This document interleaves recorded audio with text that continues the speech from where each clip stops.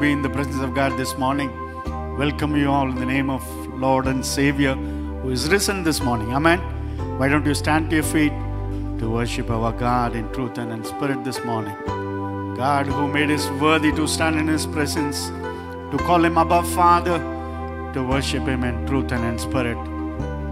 The ever living God who is in our midst this morning is ought to be worshipped. I want every one of you to close your eyes, surrender before the throne of grace.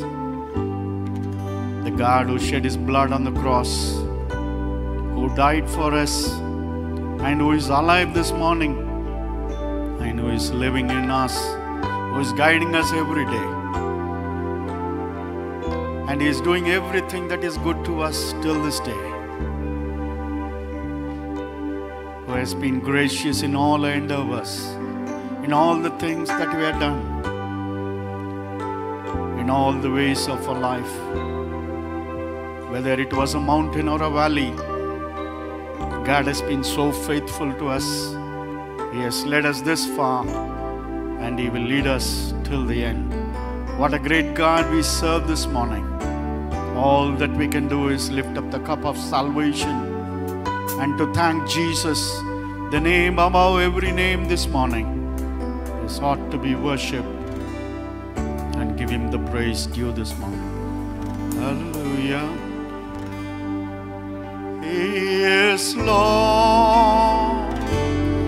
He is Lord. He has risen from the dead and He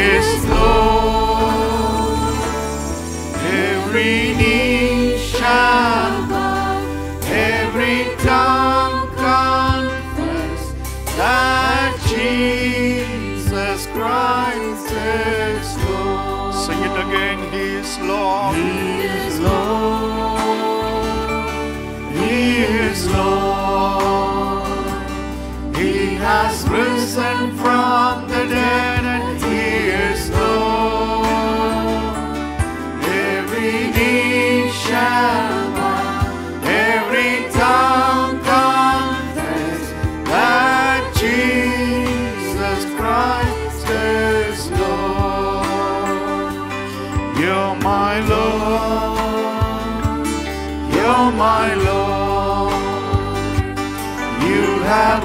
risen from the dead and you're my Lord. And my knee shall bow, and my tongue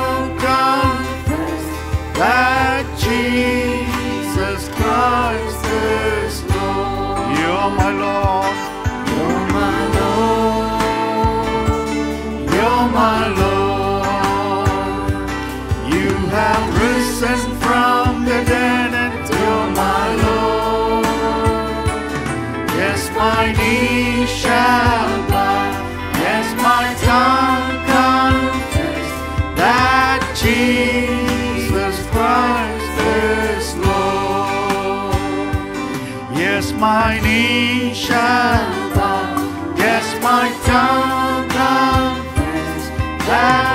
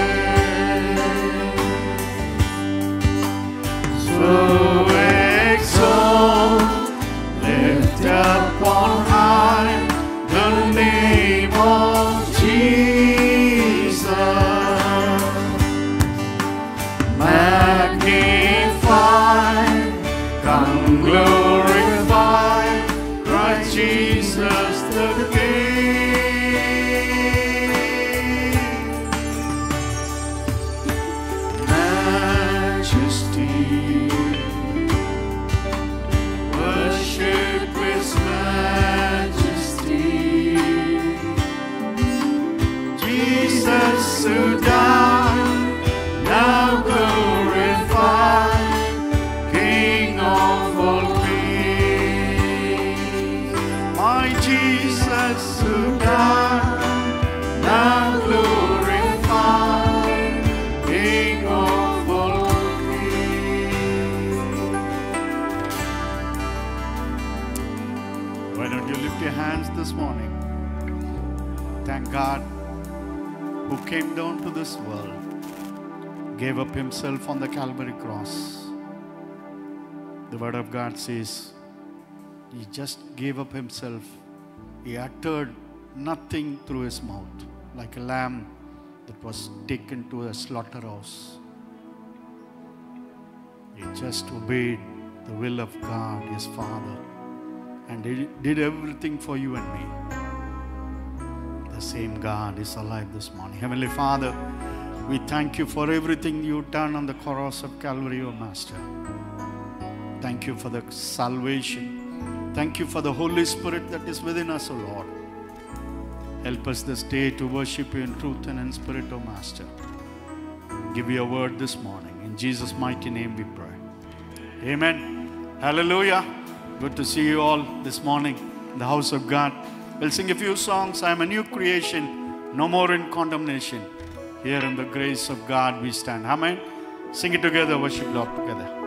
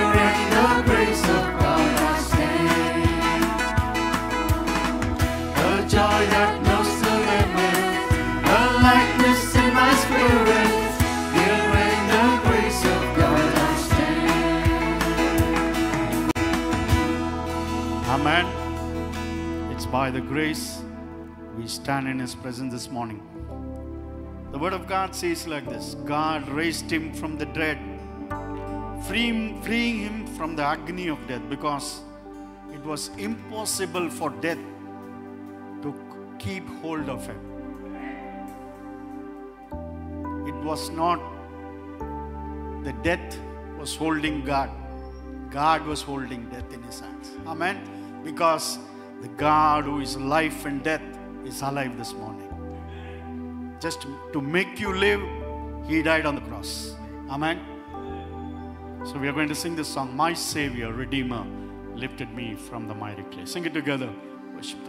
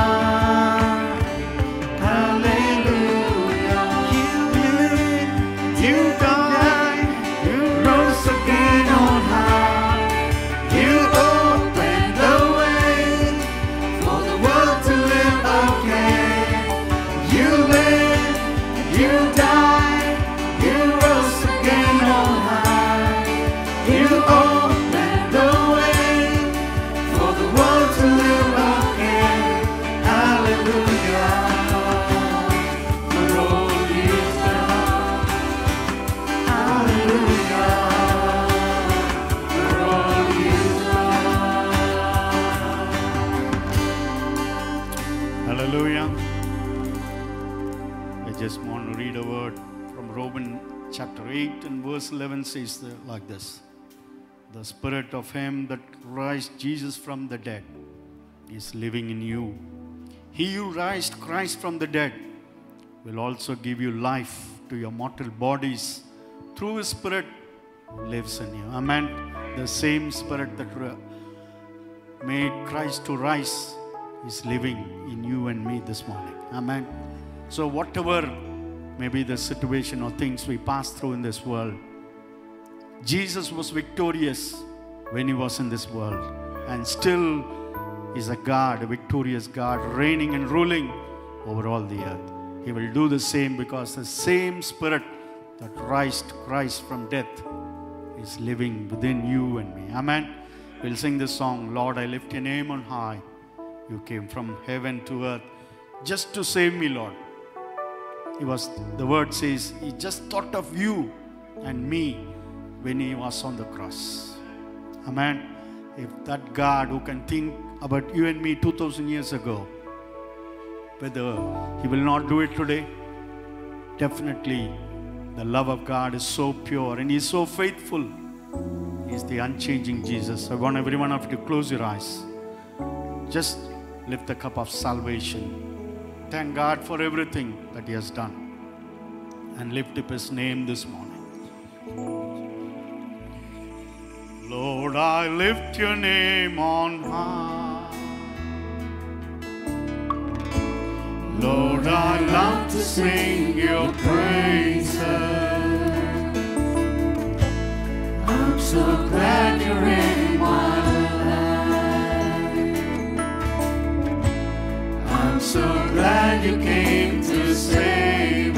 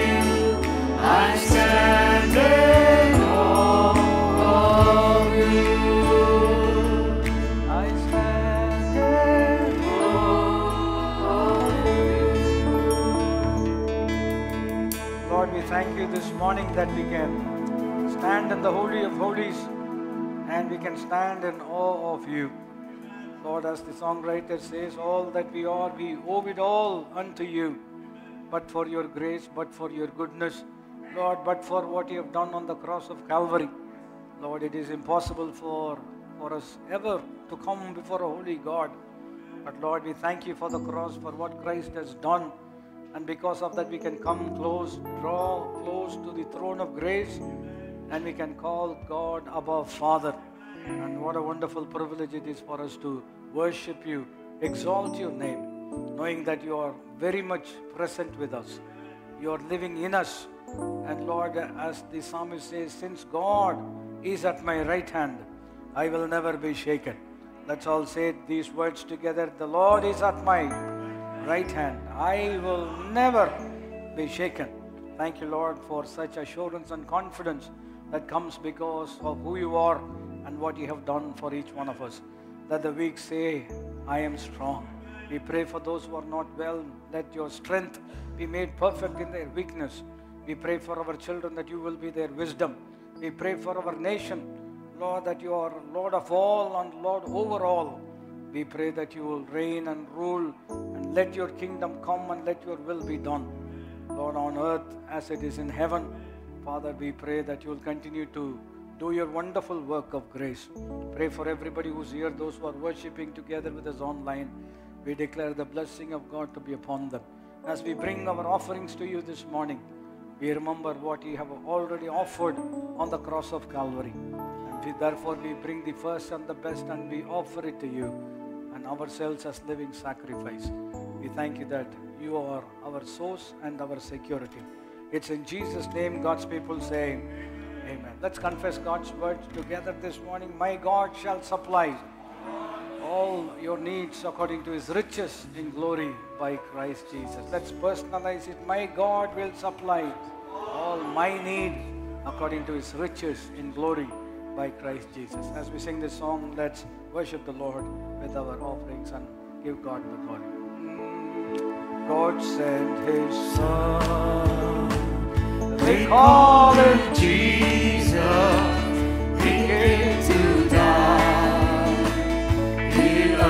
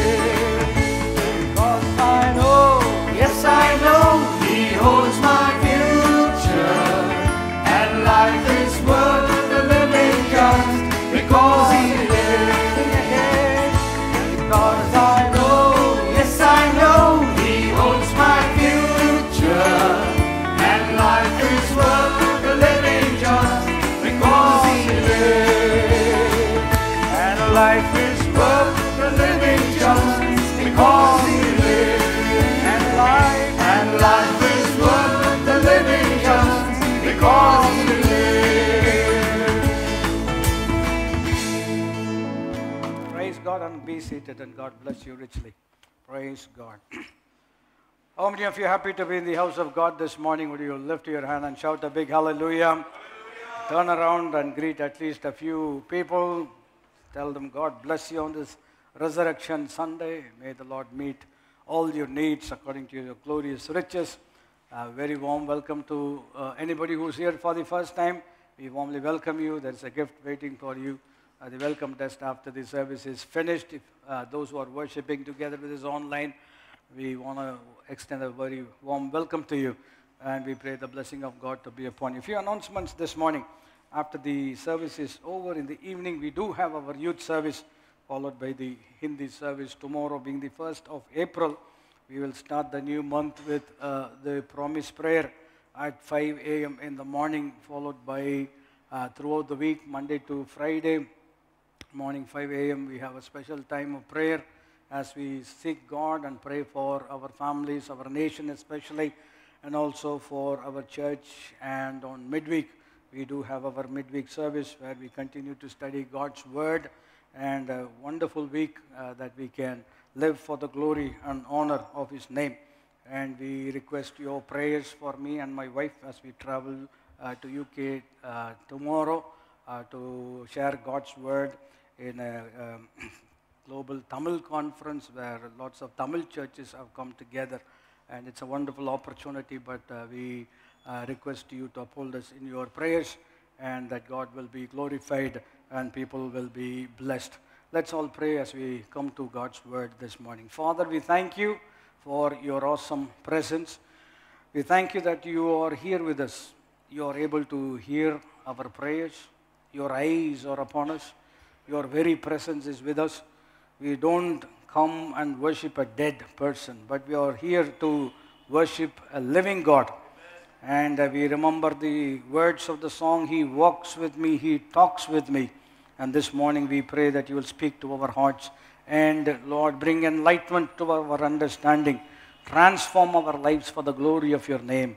It's in Jesus' name God's people say, Amen. Amen. God bless you as we study God's word. Psalm 34, verse 10 is what we have been studying throughout this particular um, few months of this year, where the Bible says, Those who seek the Lord, they lack no good thing. Every good and perfect uh, thing comes from God, the Father of lights, in whom there is no shifting or any shadow of change. How does God bring about His goodness into our lives? It is through salvation.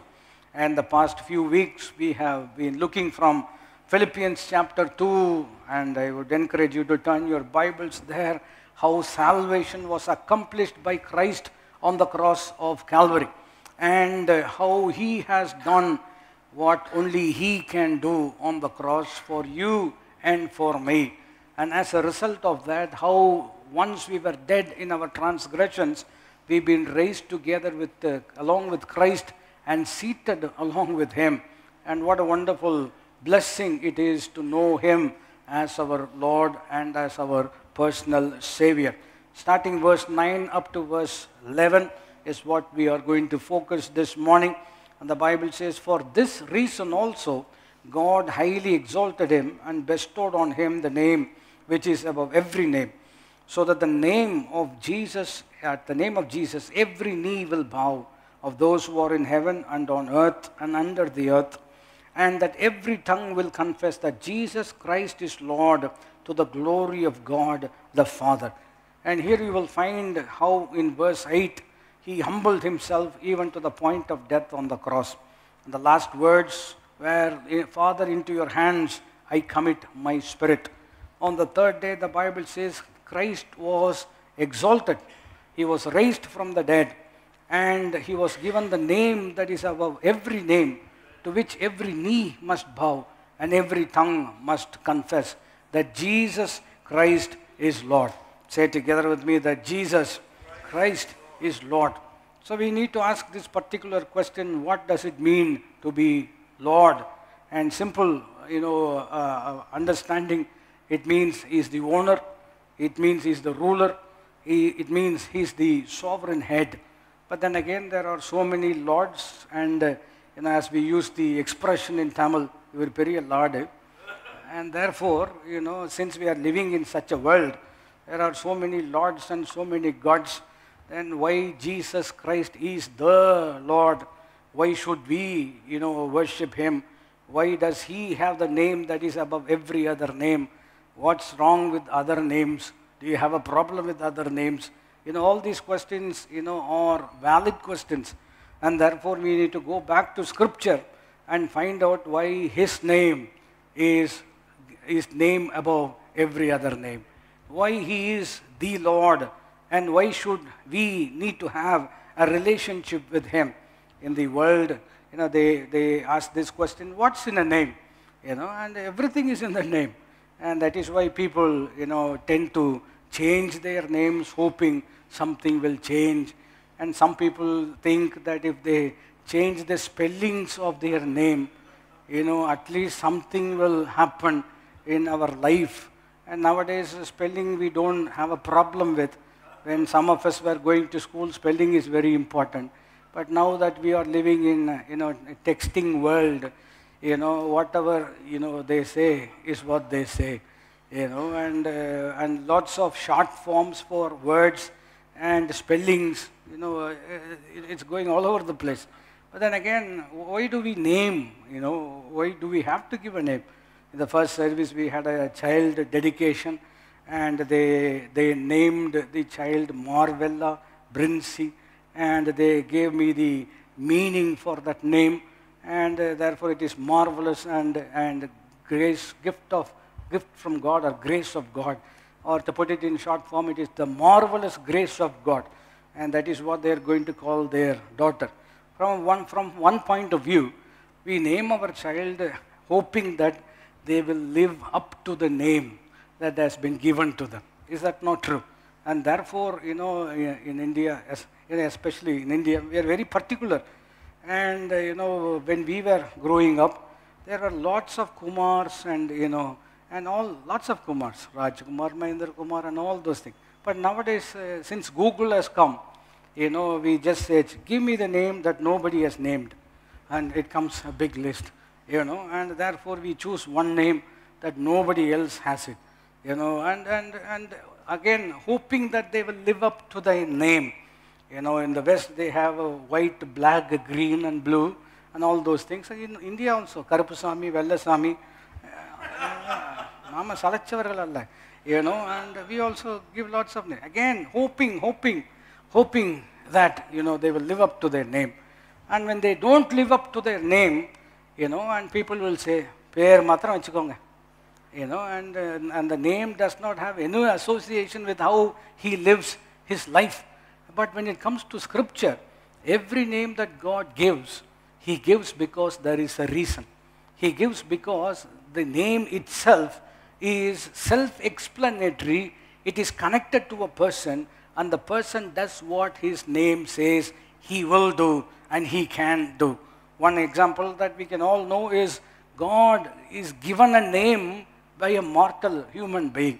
You know, Abraham having experienced the wonderful uh, grace of God, the provision of God, he calls God Jehovah Jireh, which means, you know, my provider. You know, the literal meaning says, on the mountain, everything will be taken care of. And a few centuries down the line, on the Mount of Calvary, everything was taken care of. And now that we are living post crucifixion and resurrection, we are in a place where we can say, everything concerning my life has already been taken care of. And that is why the Bible says, cast all your cares on him because he care for, cares for you. One translation puts it across in this particular way living carefree because of his care for our lives. How come you are so careless or carefree? You don't, you know, have any care about anything. No, I do have a lot of cares about a lot of things. But the Bible says, cast all your cares on him because only he can care for me. And that is why his name is very important. The Bible says he has been given a name that is above every name, to which every knee must bow and every tongue should confess, and that name is called Jesus. Let's all shout together this morning. His name is called Jesus. And what does it mean? What does Jesus mean? It means that he will remove the sins of his people. And that is why I said, you know, the name is important and the name's meaning is important and it is connected to a person and he has done what his name says. His name means he will remove his sins, the sins of his people.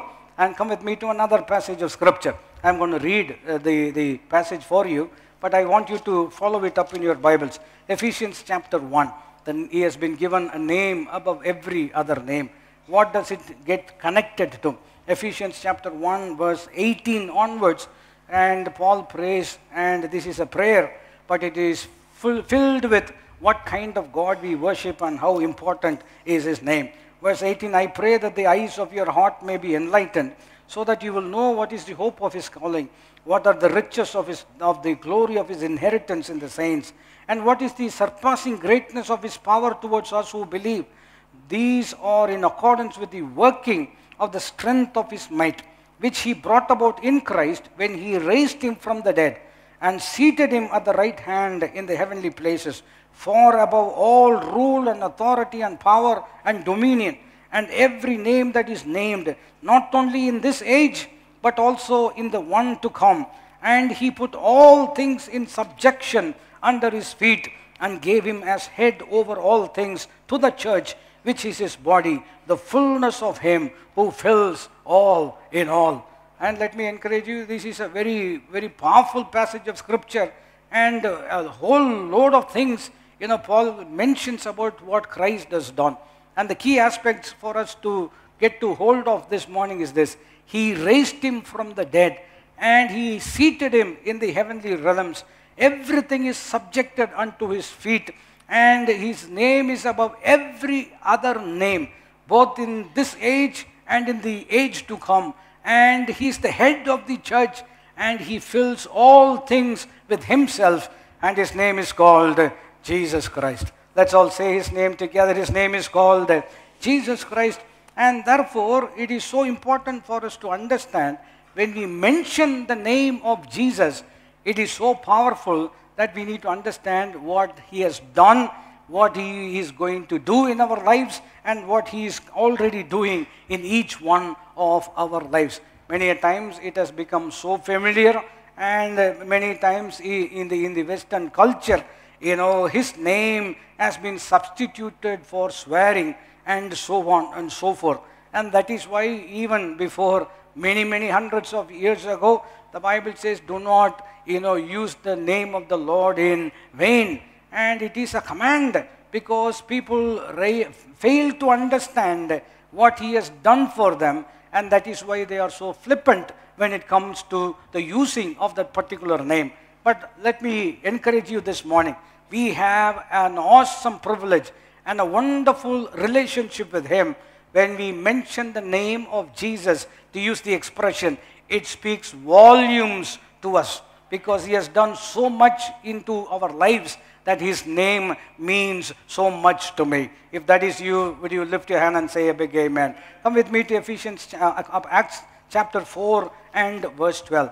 The uh, Acts of the Apostles, chapter 4 and verse 12. The Bible says, And there is salvation in no one else, for there is no other name under heaven that has been given among men by which we must be saved. You know, again, Peter is preaching, and in his preaching, he says these particular words There is no other name that has been given under heaven above the earth except the name of Jesus by which man can be saved. And again, we are living in a very pluralistic society, and therefore they will say, No, why should you have the monopoly? Why should Jesus be the only name, you know, that, uh, that through which man can be saved? We have lots of other names, and even that can bring about salvation, mukti, or whatever that might be.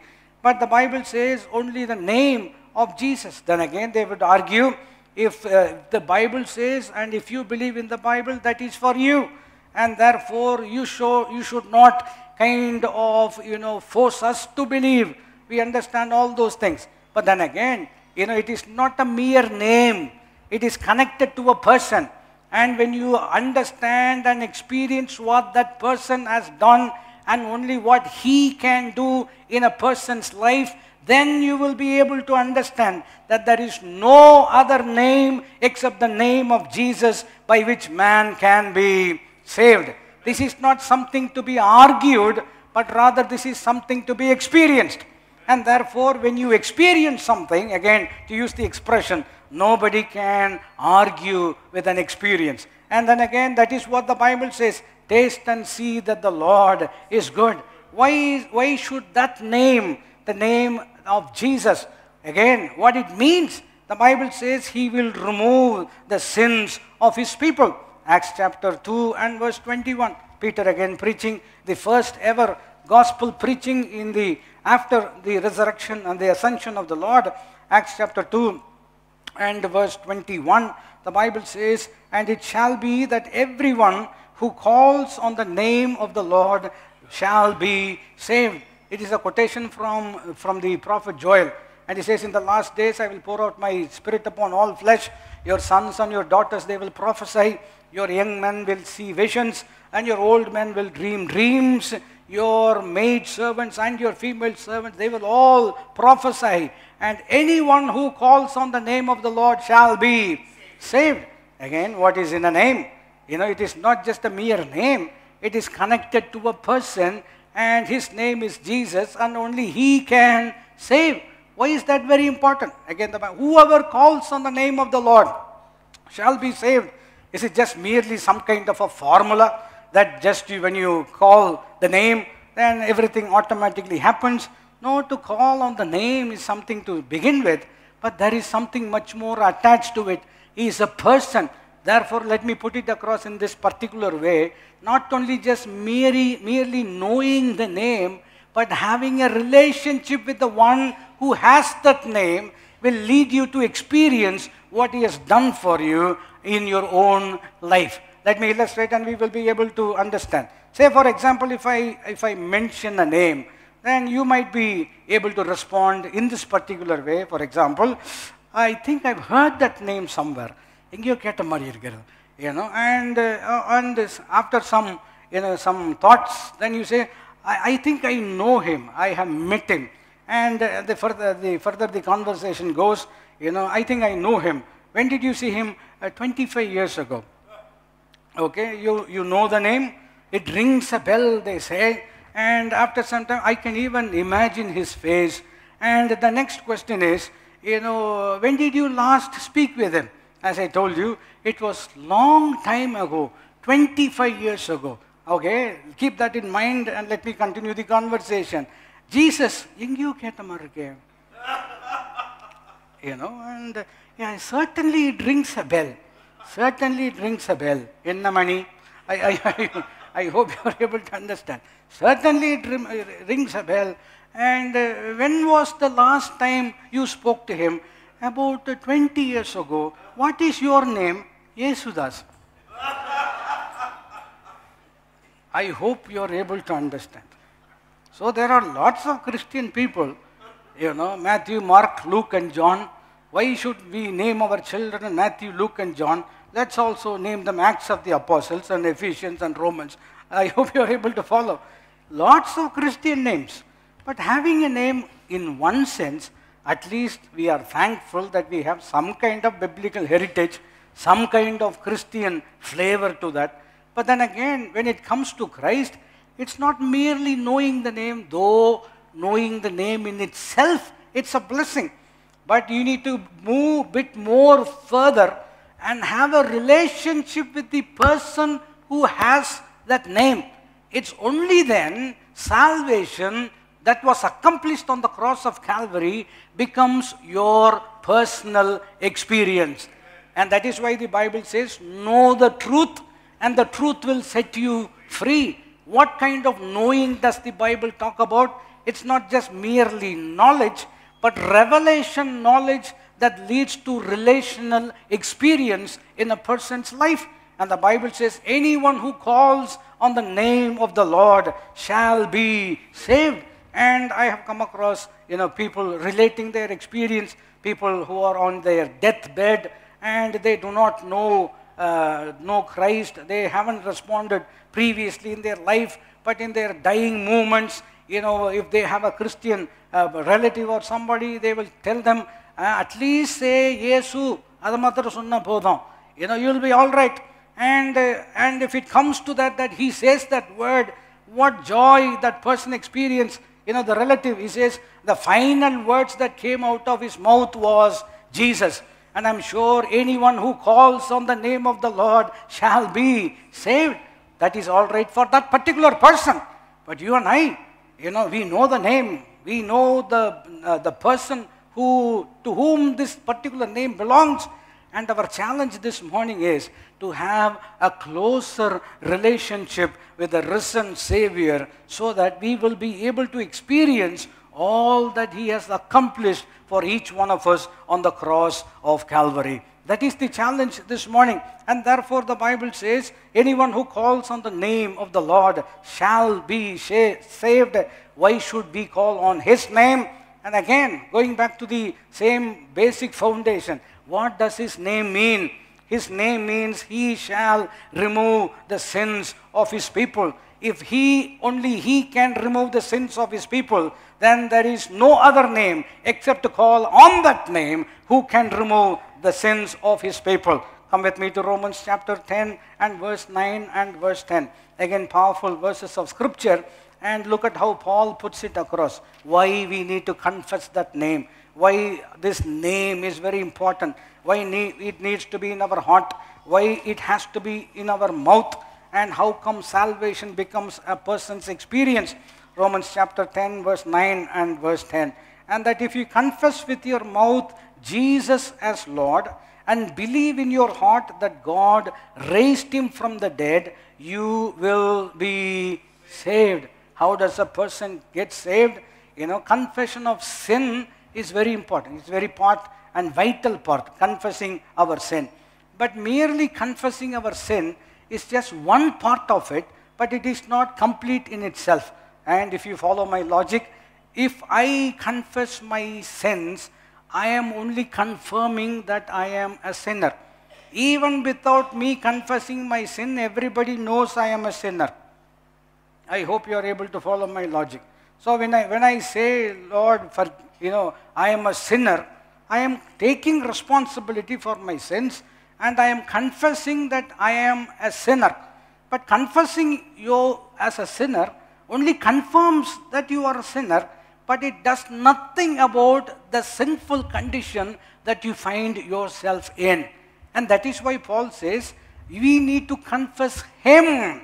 We need to confess Jesus Christ with our mouth.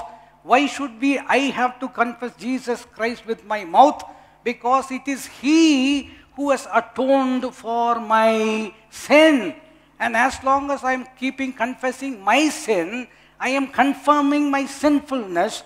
The moment I began to confess Him, who has shed his blood on the cross of Calvary and who has offered himself as a sacrifice and atoned for my sin, then I, when I confess him, I'm not only confessing about my sin, but I'm also confessing about what he has done for my sin. And what, he, what has he done for my sin? The Bible says, as far as east is from the west, so far has he removed all my transgressions from me. If you are with me, lift your hand and say a big amen to that. Without shedding of blood, there is no remission of sins. And not just any blood, but the Bible says the blame, spotless, you know, blameless blood of Christ was shed on the cross of Calvary. As a result of that, you know, the Bible says our sins have been purged, our sins have been atoned for, and therefore I need to confess Him who has atoned for my sin. Let me approach it from another angle. If you don't believe that Christ died for your sin, then you will die in your sin. I'm going to say it again for you. If you don't believe that Christ died for your sin, then you will die in your sin. But same, same logic again. When I believe that He died for my sin, not only dying for my sin, but He rose again from the dead, and therefore, as He says, as I live, you shall live also. Say together with me, as He lives, I shall live also. And what is the kind of life that he lives? The Bible says we have a high priest who is able to sympathize with our weakness. He was tempted on all accounts, yet without sin. Such is the high priest that we have. Therefore, we can boldly approach the throne of confidence to receive help, to receive grace and mercy in time of need. The Bible says not only confessing uh, uh, Christ with our mouth, but the Bible says, believing in our heart that the Father has raised him from the dead. You know, living in the 21st century where artificial intelligence is there, science and technology has improved, medical field has improved, and so on and so forth How, you know, death uh, and raised, being raised up from the dead, it all seems uh, கொஞ்சம் கொஞ்சம் ஓவரா தெரியல some people think like that, you know. But again, we need to go back to scripture. You know, the Bible is very, very powerful, you know, and it brings godly wisdom. Why is Christ raised from the dead very important? You know, why it is so important? Because every ma- man who is born needs to die one day. And why Christ raised from the dead is very important. Very important for you and for me this morning, but very important for everybody, you know, for, for them to understand. Let me, let me, let me take it from scripture and I pray God will help us to understand. The Bible says the wages of sin is death.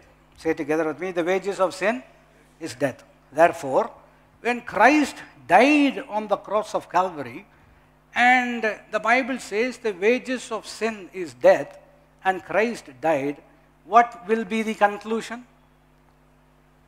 I hope you are thinking along with me. Probably some of you 40 days non, no non-veg. And we have already already ordered bucket biryani. And pastor, please, you know, hurry up with your sermon. Get him crucified, get him buried, get him raised up. You know, no, no, no, no, no. மெதுவாக மூணு நாள் கழிச்சு தான் I hope you're able I hope you're able to follow what I'm saying you know he died on the cross and the Bible says the wages of sin is death when he died what is the cos Oh, just follow the follow the principle. Wages of sin is death. Everybody sinned, everybody dies. Jesus also died, therefore, how can we conclude? He must have also sinned. And that is why he died. And people might have come to the conclusion when he died, oh, we thought he was something very special. We thought he was something very extraordinary. We thought he was something very supernatural. Uh, he died like just like the rest of us, but only that he died a very gruesome death. And uh, theologically speaking, people will come to a conclusion. As I said, the wages of sin is death. Jesus died, therefore, sin is the cause. He must have sinned. Therefore, the ultimate end of that is he died. Therefore, it doesn't make any difference between me and, and him. But we need to understand two days later, you know, on the third day, the Bible says Jesus rose from the dead. The Bible also says the Father raised him from the dead. The Bible also says the Spirit who raised him from the dead is now living inside of you. Why is the resurrection very important? If sin is the cause of death and Jesus died and rose again, defying death or overcoming death, it simply and clearly makes us understand he has dealt with sin and that is why the end of the, the wages of sin which is death was overcome by Christ because sin was already dealt with and that is why it is important that he rose again from the dead. I hope you are able to follow. I, I, I, I, I try to rephrase that. ஏன்னா எனக்கே திருப்தி இல்லை சொன்னது I'm, I'm going to say it again for you. You know, you know, he, he rose again. What was the death, uh, the Without dealing with the reason for death, you cannot raise from the dead. I hope you are able to understand. And when he rose from the dead, it clearly shows that he has dealt with the reason of death, the outcome of sin, and having been raised from the dead, it proves that sin was atoned for, death has been overcome, law has been fulfilled, and the one who was who had the authority of death, the devil, you know, uh, taking people at his vision, uh, fancy, you know, he has been crushed, but on the third day he rose victorious. If you are with me, say a big amen to that. Let me put it in another way. You know, it was shared by a very, very pow- wonderful preacher, and he uses this wonderful illustration. Why Jesus being raised from the dead is very important. You know, and he says, I have come to the crossroads of life. There are lots of options. Should I take this path? Should I take that path? And so on and so forth. And, you know, I, I was confused. I did not know which way to take in my life. Then I remembered, you know, a very powerful philosopher. And I wanted to consult him. But he was dead long time ago. Then I remembered another philosopher. And he was also dead. And I remembered a lot of people. And all those people were dead. And at the junction, you know, at the crossroads of my life, there was only one person who was alive. And I asked him, which way should I take? And he said, I am the way. I am the truth and I am the life. No man can come to the Father except through me. Not only is he the way, he is also the resurrection and life. And therefore, we don't consult dead people for, for, for us to make decisions. We consult with him who is living in us, who is living with us, and who has done everything that needs to be done for us. That is why we sing, He talks with me. He walks with me. I serve a risen Savior. Lift your hand and shout a big hallelujah. And why is, why is Christ raised from the dead is very important because one day we are all going to die. But don't get morbid at the moment. But you know, but think along with me. You know, Paul says, For me to live is Christ, and for me to die is gain. But nobody in their rightful mind will say death is, you know, a gain. Because every home that is represented here has seen one of our loved ones, you know, being passed away. If you believe in God, they have been promoted to heaven. And it is always seems to be a loss. But then again, you know, if you know Christ Jesus as your personal Savior, and you know that He not only died, He also rose again from the dead, and He now lives in you, and you not only know His name, but you have a relationship with the one who has that name. Now you can say, as Paul says, For me to live is Christ, and for me to die is a gain. I have simplified that and made it and put it across in this particular way. To live is Christ, you know, let me say in this way. When I am alive in this world, He is with me. When we are not in this world, we are with Him. I hope you are able to understand. If I am, if we are here, where is He? Oh, come on, I'm asking you. If you are here, where is Jesus? He is with you. If you are not going to be here, meaning, meaning, one fine day, you know, we have to meet with Him. If not here, we will be there.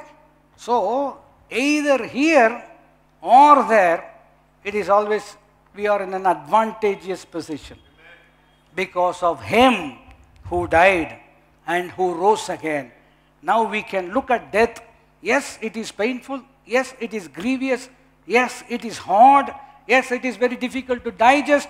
But then again, we have our Savior who is called Jesus Christ, who not only dealt with our sin on the cross of Calvary, but He died and He rose again, and now He lives forever and ever and ever.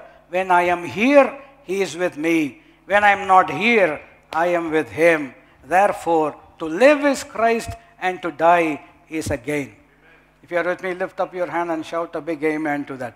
You know, I heard this story uh, written, um, uh, written concerning, you know, Spurgeon and his church and the, the uh, elders, they came to him and they apparently said it in this way.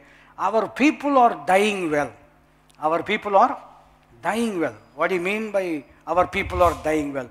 By, what they mean by that is this. They know where they are going and therefore they are looking forward in a sense. Of course, all the other things are, are, are involved. We are not minimizing that. But they know the truth. They know that they serve a God who has died and rose again for them. And that is why, you know, though humanly speaking, there are so much of mixed emotions, but from a spiritual point of view, they know where they are going. If you are with me, lift your hand and say a big amen to that. There was another example of that I came across about this guy, you know, in England. That his friends and his relatives are they are not Christians. They haven't accepted the, the gospel, and he was almost dying. And uh, uh, you know, he wrote a letter to all his friends, and this was the title of his uh, of his uh, content of his letter.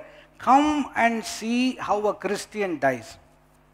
Come and see how a Christian dies. Pastor, uh, today is resurrection. You are constantly talking about uh, death but you can't be raised again if you're not. I, I hope you are able to follow my logic. You know, come and see how a Christian dies. Again, the truth is, you know, everybody dies and everybody has their own philosophy. But when you come to Christian a person, He knows the one who has died and who has come back to life. He did it not to, you know, he did it for me. And therefore, you know, I can look to him even in the most darkest of hours. There is plenty of light that shines from the face of Christ that brightens our heart. If you are with me, say a big amen. And that is why resurrection is very important. You know, that is why Christ dying on the cross is very important. How can he overcome death? The Bible says he died and through his death he overcame death. And the one who holds the keys to death, when you come to the book of Revelation, the Bible says, I died, now I live forevermore. I hold the keys of death and Hades. And the implication of that particular verse of scripture is this our on the life and the final say of our life is not with anybody, but it's in the hand of God. It is safe in the hand of God. And therefore, we can have confidence this morning that Christ is our Savior, that He died and He rose again and He lives forevermore. And that is why we need to open our mouth and confess Him as our Lord and as our Savior. He is Lord of all, you know, and He is Lord of all our aspects of our life. When we are here on earth, He is with you. When we are there with Him, we will always be with Him. You know, some people have these strange and funny ideas. You know, I uh, probably they get it from somewhere, and uh, you know, they say some person, you know, passes away, and uh, for the next 40 days he will be around here somewhere.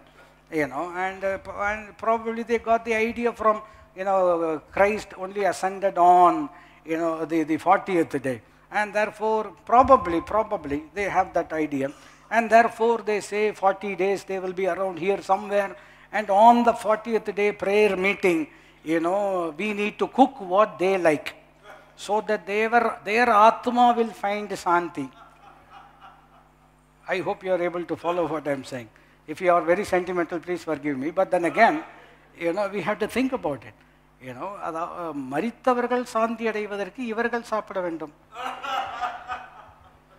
I hope you are able to follow. You know, and people have that idea. So on the 40th day, they have this prayer meeting and all that. And then I hope, I hope, you know, their soul is at rest. Let me encourage you this morning. You know, to be absent here is to be present with the Lord.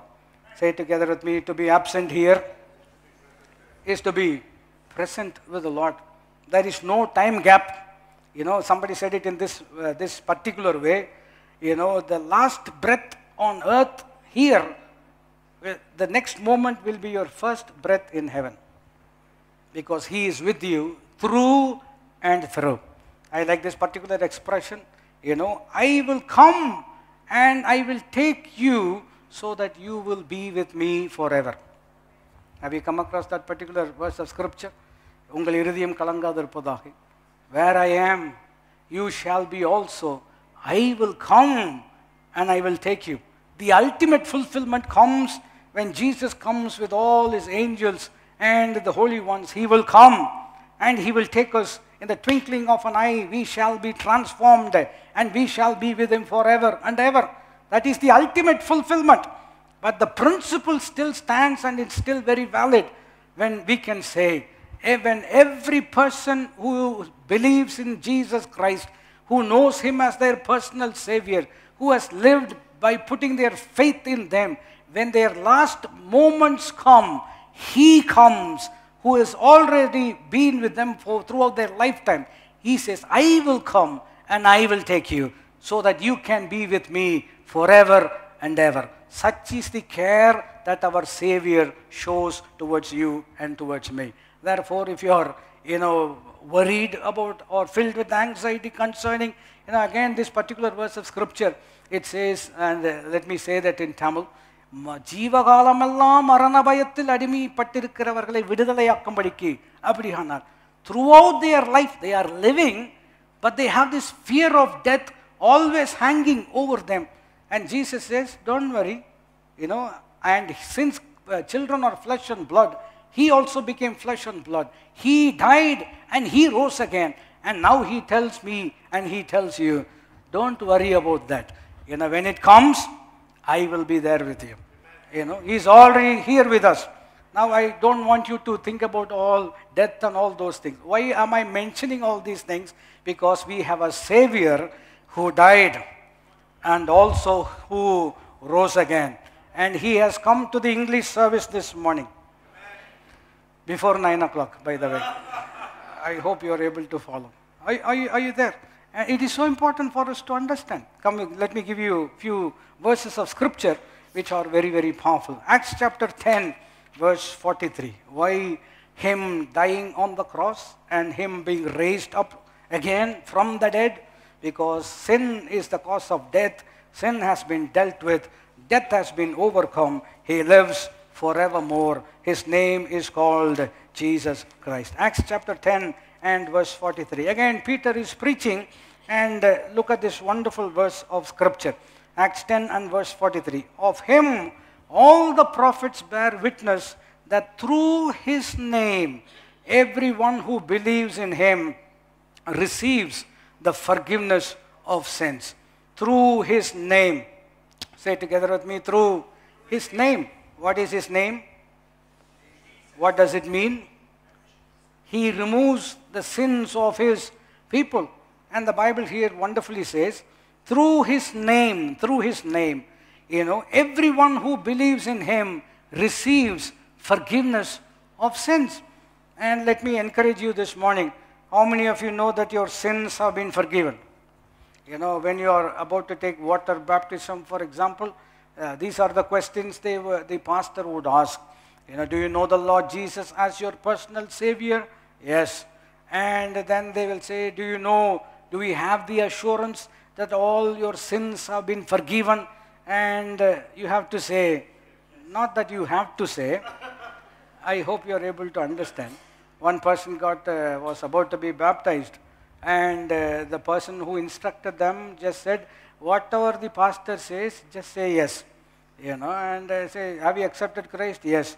Have you, do you know that all your sins are forgiven? Yes. If things get hard, will you go back? Yes. and only then the pastor says, you will hold on to him, you know, or rather he will hold on to you. That, that's, more, that's more powerful. But the point is, do we have the assurance that our sins are forgiven? In a, in a sense, especially when we are in church, we have this assurance that our sins are forgiven. When we are on our own, and all these old things they come back to our mind. You know things that you've done 20 years ago 10 years ago or whatever that might be. You know and in a sense you know that your sins have been forgiven. But when these thoughts they come back to you you again in a sense relive the experience and you are filled with guilt once again. Is that not true? Am i making any sense this morning you know all these things they come back. I know my sins are forgiven but when i am reminded you know suddenly it comes to my mind you know and i begin to relive the experience and i begin to feel guilty again. At that moment what should i do? If guilt is not dealt with properly it has got the power to drag you down six foot under I hope you are able to understand what I'm saying. Guilt has to be dealt with properly. Grief has to be dealt with properly. Grudge has to be dealt with properly. And all these three things can only be dealt with another G called grace.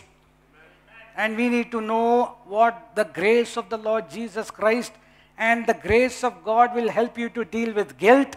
It will help you to deal with, with grief. It will help you to deal with grudge. And when it comes the grace of God and guilt, you know, yes, I do feel sorry for what I have done. But the grace of God reminds me again that on the cross of Calvary, my sin has already been dealt with. And the devil makes sure that you're often reminded of your past. You're often reminded of your failures, often reminded of your shortcomings. It is at that moment you need to open your mouth and confess what Christ has done for your past sins, what Christ is doing now, what Christ is going to do in the future. And let me tell you theologically, it's very important. The penalty for sin has been dealt with on the cross. The power over sin, God has become our wisdom, our strength, and He will one day is going to come where we will be in a place where even the presence of sin is not going to be found. That is going to be the ultimate kind of expression. But even today, not only forgiving our sins, but giving us the power over sin, which is very, very important. And the Bible says that can only be found in one person, and his name is called Jesus. You know, and you know, for example, uh, suddenly something comes to your mind that we have done, or you have done, or I have done some years ago. And my mind itself says, அட பாவி இப்படி பண்ணிட்டியே you know if you are if you are only used to english oh sinner you have done this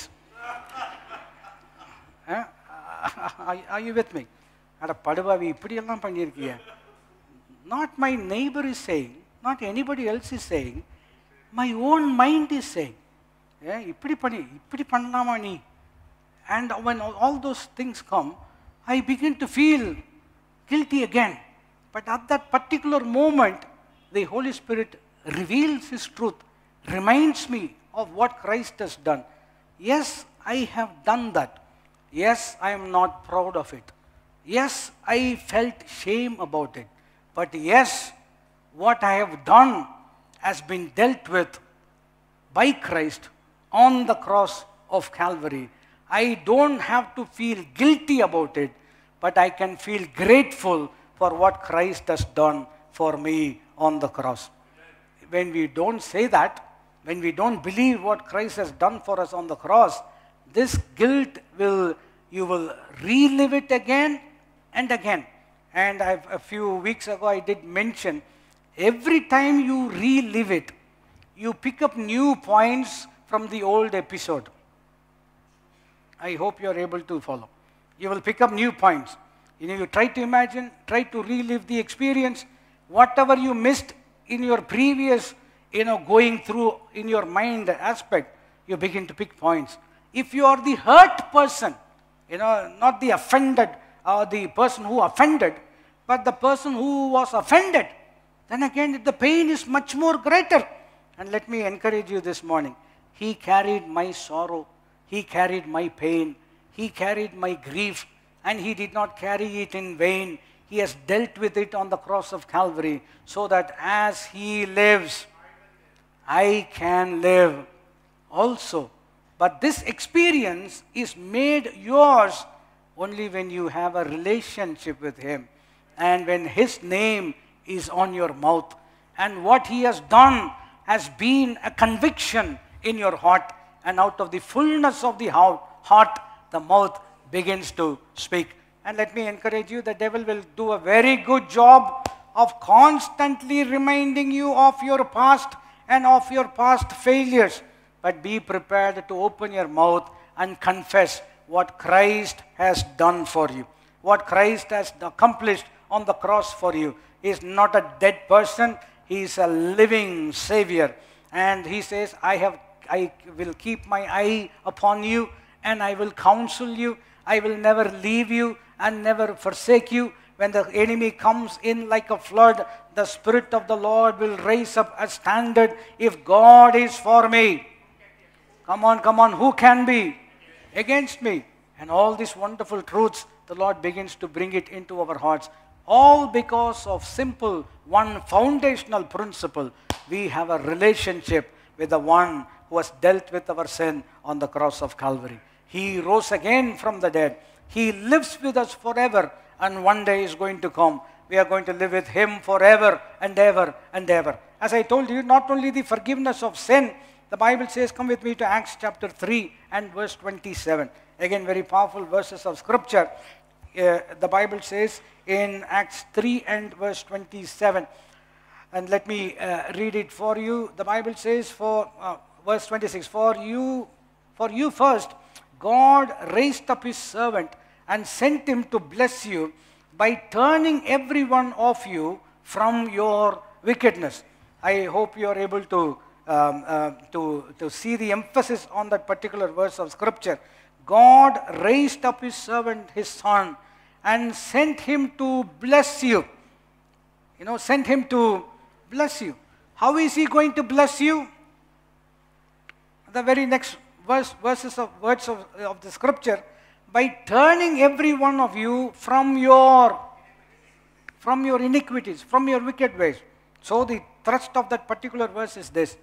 Not only forgiveness of sins, but what will happen if the sins that are forgiven comes back to haunt me, comes back to get hold of me again, comes back to overtake me in my life the Bible says, not only does he offer forgiveness, but he lives inside of you so that when those things that are forgiven comes back to bring you down, the one who has overcome is now living inside of you, And that is why he is called the Redeemer. I've said it many, many times. You know, in Tamil it comes out much more easier and easier for us to understand. Meetper. Who is a meetper? மீட்பர் எளிமையாக சொல்ல வேண்டும் என்று சொன்னால் மாட்டிக்கொண்டவர்களை மீட்கிறவர் மீட்கப்பட்டவர்கள் மாட்டிக்கொள்ளாமல் பார்த்து கொள்கிறவர் that is that is how simply I can put it across ஏன்னா மாட்டிக்கொண்டவர்களை மீட்க வேண்டும். மீட்கப்பட்டவர்கள் and that is why the Bible says again Tamil verses come to my mind மீட்கப்பட்டவர்கள் ஆனந்தம் பாடி சியோனுக்கு தான் வருவார்கள். நித்திய மகிழ்ச்சி. அவர்கள் தலைமையில் இருக்கும் சஞ்சலமும் தவிப்பும் ஓடிப்போ ஐ hope you are able to follow and the Bible says the name that offers forgiveness from our sins is the same name that gives us the power over sin. Because the one who has, the, has that name, he has shed his blood to atone for our sin, rose again from the dead. And the Bible says, Thanks be to God who gives us victory through our Lord Jesus Christ. Let's all say those words together this morning. Thanks be to God who gives us victory through our Lord Jesus Christ. 1 Corinthians chapter 15 is very important. I want you to go back, take time after you have eaten your biryani, and, and read through 1 Corinthians 15. And Paul lists a big, uh, big uh, issues why uh, resurrection is very important. Why our faith has only value only when it is get connected to Christ Himself. And towards the end of it, he talks about how our, our own you know, death has to be seen in the light of the death and resurrection of Jesus. And then he finally he comes and let me read it for you. Nothing can replace scriptural language. Therefore, I'm going to read it for you. 1 Corinthians 15 and the last few verses of scripture, verse 55. You know, uh, let me let me read and I encourage you to, if you want, you can read along this morning. Oh death, where is your victory? Oh death, where is your sting? The sting of death is sin, and the power of sin is the law. Now let's all uh, read verse 57 together. But thanks be to God who gives us the victory through our Lord Jesus Christ. You know, let me say it in Tamil, which is, I like to say things in Tamil. மரணமே உன் கூரங்கே. இப்போ எப்படி நல்லா இருக்கு பாருங்க. மரணமே உன் கூரங்கே. எங்கே பாதாளமே உன்னுடைய ஜெயம் எங்கே? மரணத்தின் கூர் பாவம் பாவத்தின் பலன் நியாயப்பிரமாணம் now I want you to feel the emphasis நம்முடைய கர்த்தராகிய இயேசு கிறிஸ்துவினாலே நமக்கு ஜெயம் கொடுக்கிற தேவனுக்கு சோத்திரம் உண்டாவதா? I want all of us to நம்முடைய இஸ் நாட் சம்படி எல்சஸ் என்னுடைய கர்த்தராகி இயேசு கிறிஸ்துவினாலே எனக்கு ஜெயம் கொடுக்கிற தேவனுக்கு who is he to give me victory he is the one who is victorious and that is why we can boldly say உரிமை பாராட்டி சொல்லலாம் உறவிருப்பதின் விளைவாக my God you know he is my God he is my Lord he is my saviour and through him we have the victory in Jesus Christ. And let me encourage you this morning. Victory has another name. It is called, I think we sing a song. Healing has a name. It's called Jesus. Salvation has got a name. It's called Jesus. Victory has got a name. His name is called Jesus. And that is why we sing songs. I trade my sorrows. What is trading our sorrows? We give it to Him and we receive what belongs to Him.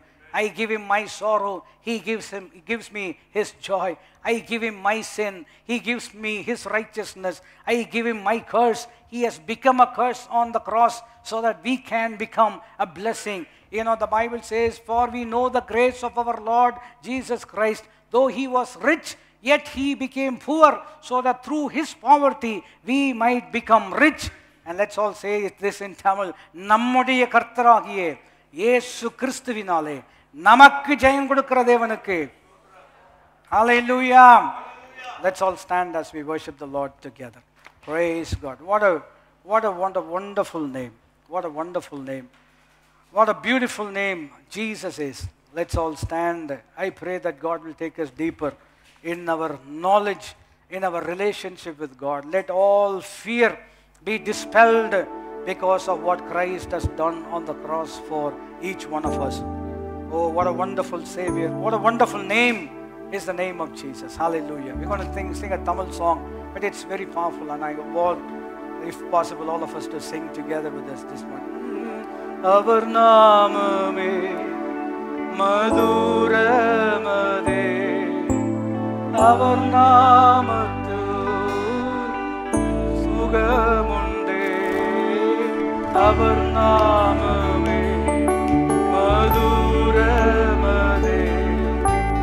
아버나무 뚝 수괴물